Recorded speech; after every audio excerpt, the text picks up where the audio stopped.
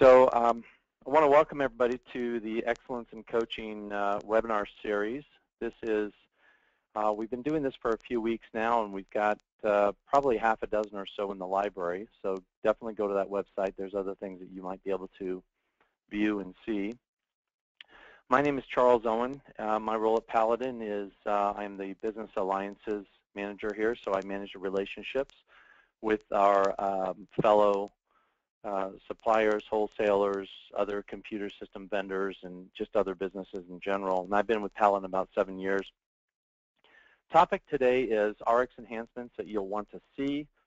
And the description is it's just a 30-minute presentation that's going to be covering recent uh, Paladin point-of-sale features that have been built specifically for pharmacy. We're going to be covering some of the Mobile 2 products that we've uh, introduced as of late that are now ready for prime time. And then we're going to uh, be looking at other features that you may or may not be using currently that might be able to give you a little advantage and edge up on the uh, using Paladin in your pharmacy. So the goal really is for you to get a better understanding of what features are available in pharmacies so you can uh, increase your efficiencies, um, return on investment and uh, you know save time as well as make hopefully make a little bit different. Uh, well, actually, mainly for uh, maintaining compliances, so you can better protect yourself and reduce your risks and liabilities, and at the same time in improve patient care. Okay, so I'm being I'm being assisted by Chad Klein, who is uh, going to be viewing everybody's questions. You're welcome to type in questions Chad will be responding to those questions online.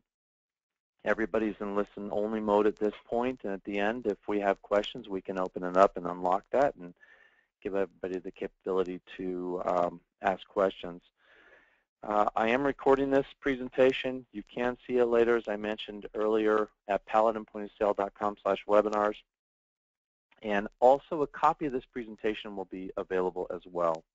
So let's go ahead and get started on the presentation. I, I set this one at a technical level of intermediate. And it's not that it's technical, it's just that you need some basic knowledge and understanding of the Paladin system and some of the setup requirements uh, to, to get in and, and activate some of, these, some of these features. So we'll start with slide one. So the first thing I want to talk about is we now have a method of capturing a signature that's untethered. Pardon me. So we have, uh, more than likely, your pharmacy has a Topaz signature capture pad. It's either Bluetooth or it's hooked up through a cord. Uh, this is another method in which you can use another device. So if you're passing, if you need to go outside the window, if you have a pharmacy window, or uh, you know, so it's great for drive up. Also, uh, if you have handicap access where you might need to, the customer can't quite get up to the counter, you can pass the pad down. This also, uh, this device also enables you to actually see their invoice as it's being rung, rung up. So not only can they sign for it at the end, but they can also see the information as it's being rung up on the actual terminal. All HIPAA and consult and other messages as well will appear on this device. Uh, this is available today. I'll show you how to do the setup here in a moment. Let's go into the second feature, which is uh, also part of the Mobile 2 recent applications that we pushed out, and that is the Mobile 2 Show. The Mobile 2 Show is identical to the Mobile Mobile 2 SIG. Uh, the only difference is on this one you don't sign. It's just there to be a display option. So currently you might have a pole display where you have one line of information as you scan items appear on that screen. This enables you to have the full entire invoice for the customer to follow on, and it can be placed on a secure stand behind the terminal where the cashier is.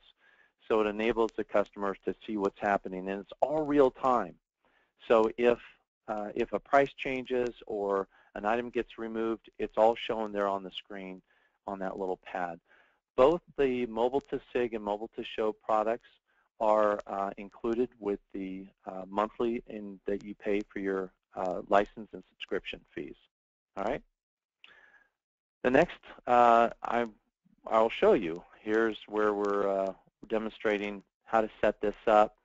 So if you go under um, if you go under the uh, Paladin, well, actually, it's under File Setup, uh, the Network tab, and that's where you will enable mobile 2 SIG. But really, this is something that the customer service folks have to set up. So you are required to submit a case.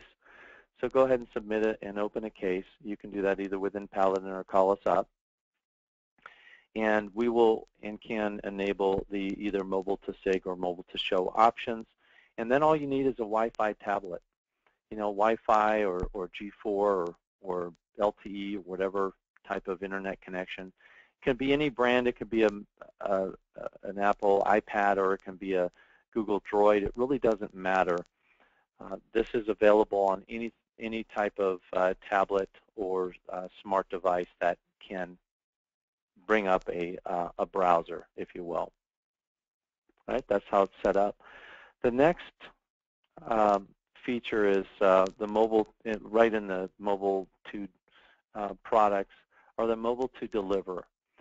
This is uh, this enables you to set up deliveries and collect information while you're while you're doing the deliveries so if you currently are taking a, a receipt or a delivery um, tag and stapling it to the bag and giving that to your driver, that's one way to accomplish it. Uh, this is another way. This enables the driver to actually go to the site and collect a signature at the site, take a photograph of where they're leaving the medications. It also enables you to attach a note as well. And once the customer signs for that. They'll just sign with their finger directly on the pad. It automatically is updated in the Paladin system back in your store in real time at that very moment. So along with the mobile 2 deliver product comes the mobile or comes the delivery scheduler, and that's uh, within the invoicing section of the Paladin uh, system. So under the invoice module, there is a method in which you can create deliveries, maintain deliveries, and also view and manage those deliveries uh, in the delivery scheduling component. All right, so as, as far as the uh, delivery package or delivery um, mobile device, you'll have to get a device that, again, has Wi-Fi and or G4. In this case, it probably will need a Verizon or an AT&T or some sort of uh, phone connection because it will be hooked up to the system in real time through a, through a cloud. The uh, delivery and the SIG and the show are all included with your subscription. Now this is a sneak peek of the uh, future product that we're coming out with, which is Mobile 2 Checkout. This product enables you to take the entire point of sale checkout and put it in the palm of your hand. It actually will enable you to uh, research and look up customers, look up items, be able to scan or type in uh, part numbers or, or, or um, you know, identifiers, and it, it, enables you to do a checkout from anywhere in the world. It's connected up through the cloud services that we provide to your on-premise Paladin system in your store, and uh, you'll be able to take credit cards, apply to accounts, store the invoice for processing at a later date. And this is a really, really cool product. And for all intents and purposes, it's another point of sale checkout station that is mobile. It could be taken out to the parking lot.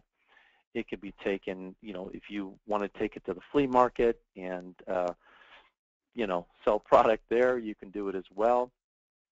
And then everything is processed on your point of sale system and it's using this device to communicate with that on-premise system. So because it is an entirely different checkout station and new checkout station, there will be a, a monthly fee that's associated with this. Once we roll that out, we'll uh, determine what that what that fee will be, but it will be a another checkout station right in the palm of your hand. And in the top of that, you can actually have a encrypted swipe as well to do credit cards. So neat, neat product.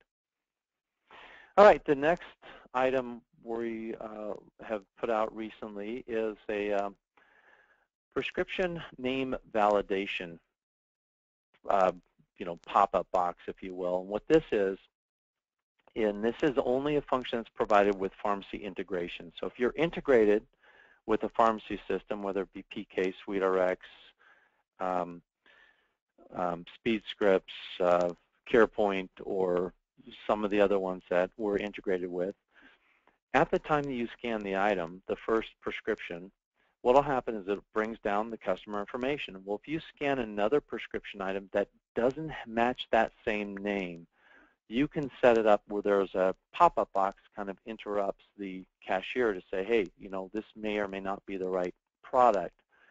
So at that point, you can either accept or reject that, and it, it will help really clear up some of those uh, medications that maybe get dispensed to the wrong patients.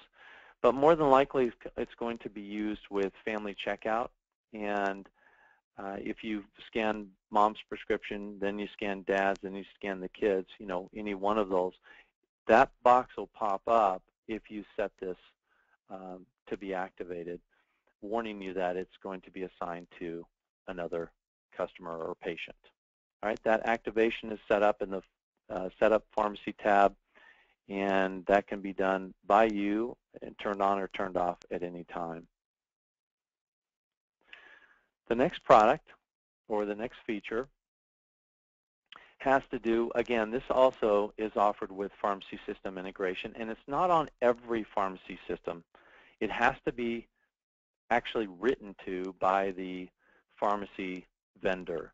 And we are uh, we enabled for the integration of our product with the pharmacy system for the transferring of patient data, transferring of invoices and prescriptions and uh, anything that basically is done at point of sale gets can be sent back to the pharmacy system. Well, we've enhanced that. And we've added to that where you can do accounts receivable. So if you prefer the accounts receivable system in your RX system, you can give full authority to your pharmacy system to manage the accounts receivables. All right, this is a new method that we added to the system probably a year or so ago, and most of the new RX systems that we're integrated with do provide this uh, for this functionality. Uh, and if they don't today, they certainly can in the future. But it's a setup where you can go into the uh, Setup tab under the pharmacy, and you can elect to um, transfer all the responsibility accounts receivable to the to the pharmacy system. Now, Paladin, as you know, also does full accounts receivable as well. So you'll have to make a decision as to whether you want that process maintained and managed up front with your point of sale or if you want to do it in the back office. There are some advantages to doing it in the back office. Those insurance adjudications that you uh, maintain on there uh, can be added to the AR or accounts receivable that you process uh, on your pharmacy system as well. And uh, so there are some distinct advantages. Another thing that this feature provides for is it also does a, does a check. So a point of sale, when we scan the product, if accounts receivable has been activated to be processed on the pharmacy system, then it will also and can also check for uh, to make sure that there's enough credit balance to handle that particular invoice. So we'll do a quick check, and it will use that credit balance as you know how much credit they have remaining in their accounts receivable. And uh, at point of sale, if it's all if all the money can if there's enough money to handle that transaction, great. If there's not, what will happen is uh, is it will only enable you to uh, bill that patient for the amount that's available in the RX system. And the balance would have to be paid for by another uh, form of payment. Okay? So uh, things like return on, on account or received on accounts, so payments on accounts as well as returns and credits are all sent back to the pharmacy system and it's maintained uh, for you to run those transactions through the accounts receivable in the pharmacy system. So if you didn't know about this and if your pharmacy system supports this, this is an option for you. Uh, great. If you prefer doing accounts receivable on the pharmacy or on the Paladin system at the front end, that's great too, whatever you decide to do.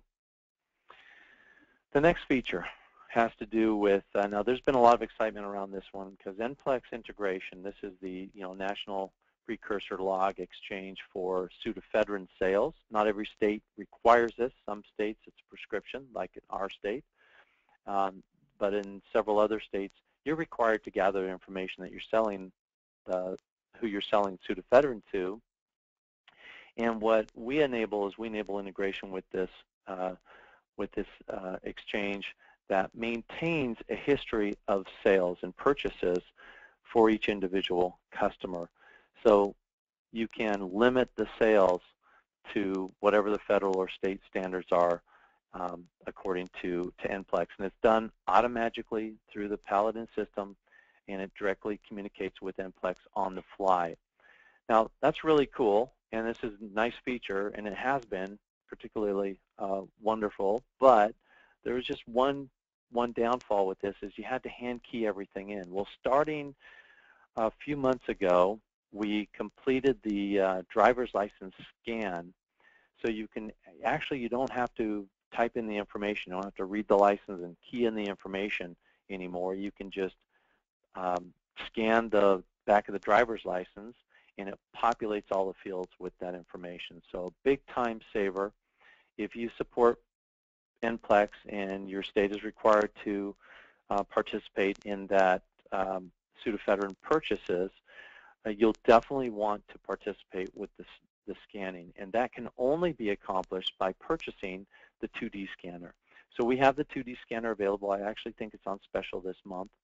So that is something that you'll definitely uh, want to, to purchase and activate. And that can be activated by, again, just log in a case and say that you want the new 2D scanner and you want the auto-populate to, to happen. So that can be done. Now, if you go to the Paladin web store, you can actually purchase it directly on this, you know, within our shopping cart and have it applied to your account um, pretty easily. Just go into paladinpos.com, click on store in the top right-hand corner, and at that point you can uh, log in with your login credentials. You'll have your name and password. It should be the same as your name and password for the customer service portal. And at that point, you'll see specialized pricing that'll come up just for you, our customers, which doesn't come up if you're not logged in, so be cognizant of that. And uh, you can make the purchase right there. Then just submit a case to customer service and they can set you up for auto-populate.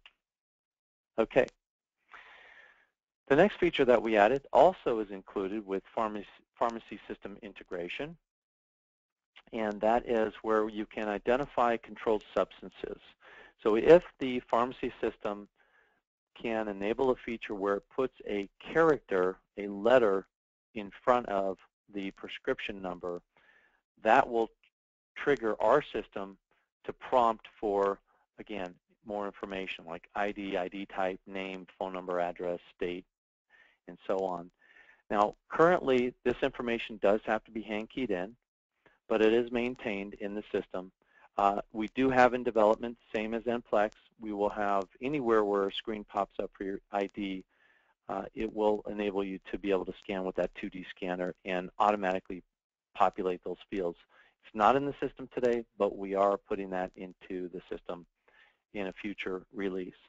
It will enable you to print controlled substance audit reports. By managing this, it will comply with a lot of the state requirements and regulations out there where you need to collect and maintain this information for every controlled substance. Okay, so that is a feature that we've added recently. You may or may not know about this, uh, but it can definitely help you maintain compliances. The next one, I, I kind of like this one, and this one, not everybody knows about this, but you can actually hide the patient name and RX number from the receipts. So right now, if you haven't set this up, you're probably getting uh, on on sales, you're going to have your prescription uh, that's you know on a line with the prescription number, as well as the patient name and the patient address, and then they're also going to have their signature down below on that receipt. Now, uh, to, to maintain PHI, you know, for the Privacy Act, you may want to obfuscate that information, and you can do that by going in and setting this up under File Setups and Forms tab so you can turn off either the patient address information and or the patient name and address information and completely hide it from that actual receipt. In addition, you can also truncate the prescription number so it only uh, just to the last four characters. So under File Setup Pharmacy tab, you can activate this to where it truncates that. Now you have the capability and the power and the permissions to do this on your own. So if this is something that you want to do for uh, enhanced protected health information screening and compliancy, you can do that as of today. So just go in and, and, uh, and set those checkboxes up and, and you'll be ready to go. The next feature that we have in the system, not everybody's going to benefit from this, but if you have specific compounding um, items that you manufacture that are OTC and you want to hide the, the actual ingredients from the customer, but you still want to maintain inventory control over those bulk items, you can do that in Paladin by enabling the kit functionality or the, the kit feature. So the kit enables you to do several things. Number one, you can create a single um, kit trigger with a single uh, short code, if you will, or cheat code, and it can populate an invoice with as many items as you want. So if you wanted to make a kit that's, you know, it's a, let's say it's a flu season kit, all right, just to use an example, and you've got cough medicine in there and you've got, you know, pain meds and you've got, you know, rubbing compounds, whatever it might be, you can enable that in the kit to be a standard kit, and all you do is type in one code, and it populates all those items at one quick draw and puts all those items into the invoice. So it can speed up that process. At the same time, it deducts from inventory the proper amounts and it charges the proper fees. Now, if you wish to have something where you hide that the contents of that, you can do that as well. And to do that, all you do is enable the hiding of the kit components, and you just set those up as a zero amount when you build the kit, and you click on Hide Items. And once you do that, then uh, and you can do all this in the it, this must be enabled in the setup tab. So you go under file setup company tab and you'll see enable kit functionality. You have access to this and permissions to turn this on and off you'll before you do that you'll have to create a class a kit class a specific class number. I just created one here. An example shows 121212 as a class number. So first create a class. Second go and enable the kit functionality. Put the class number in. Then when you create a kit trigger, you must identify that item with class whatever number you came up with, in my case 121212. And if you further want to add subcomponents to that kit that you do not wish to show on the receipt, you can click on Enable Hiding of Kit Components, which is right there in that same Setup tab under, or Company tab under Setup uh, which is right adjacent to the invoice uh, section, as you can see off to the left-hand side of that screen I'm showing you. Right, but the proper amount will be decremented from inventory, even though they can't see it on the on the uh, actual receipt.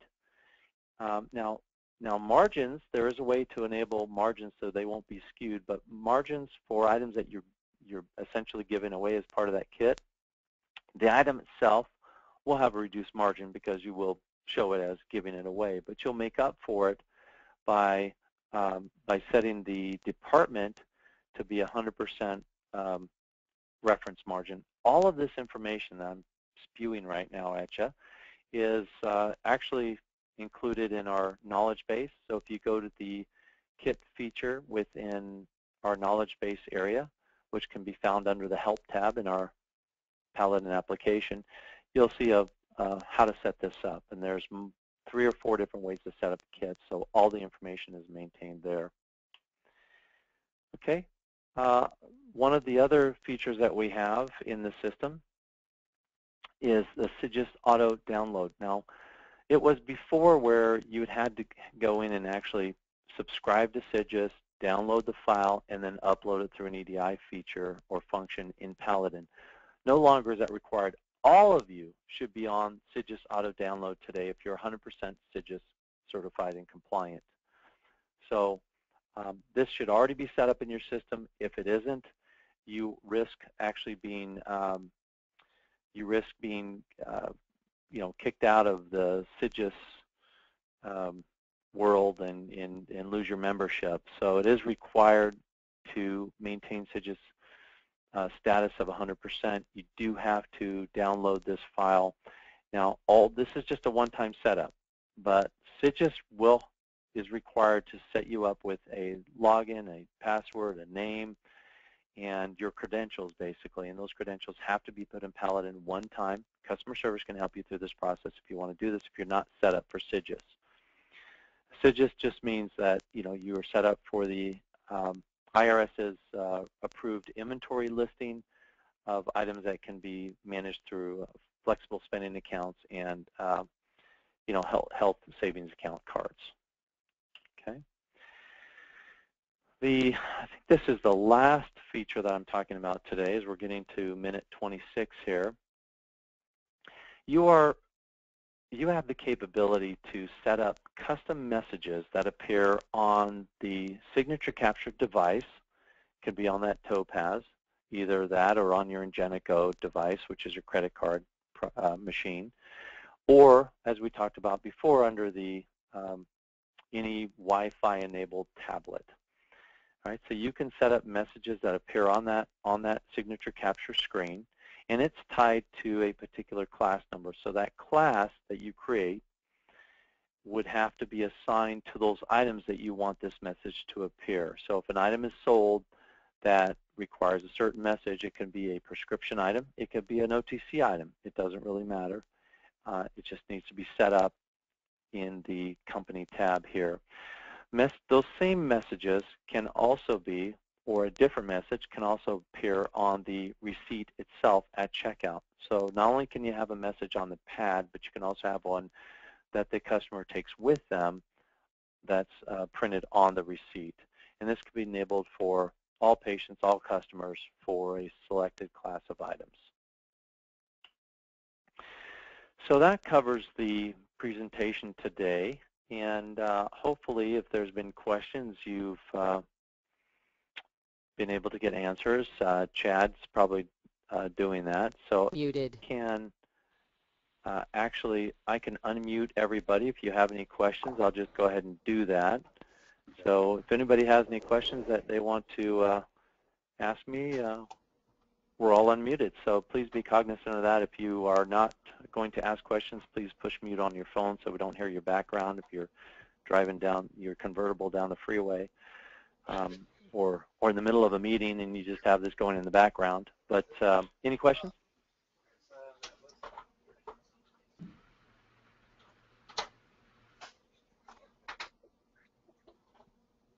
All right, very good then. We'll go ahead and we'll sign off. Thank you all so much. We do have a, another presentation or another webinar that will be occurring next Tuesday. And uh, I just muted everybody because we're getting a lot of background.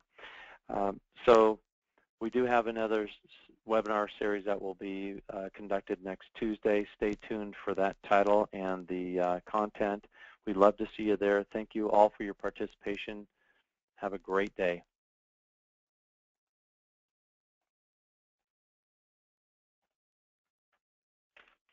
Oh, also if you could uh, answer the very quick survey that's going to pop up momentarily.